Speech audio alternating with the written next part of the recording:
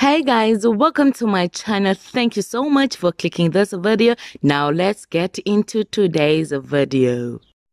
Hello guys, welcome to my channel. So guys, the Zulu Nation has been trending uh, since it was revealed that the third wife of uh, King Zwelithini, Queen Mantfombi Dlamini Zulu, has been appointed as the interim leader of the Zulu Nation. This follows after the death of King Zwelithini last week.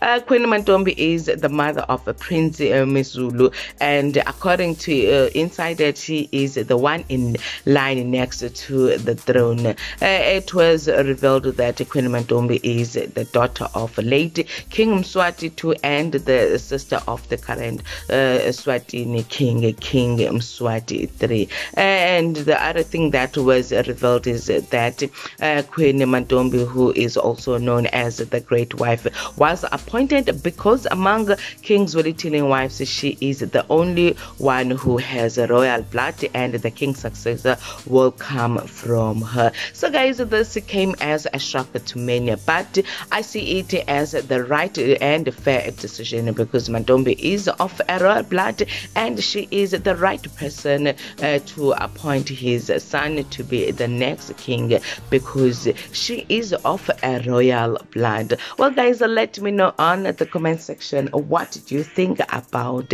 this decision. Uh, guys, thank you for watching this video. Please make sure that you do the right thing by commenting, sharing, subscribing, liking this video, and most importantly, hit the notification bell so that you do not miss out on anything that I am going to upload next on this channel.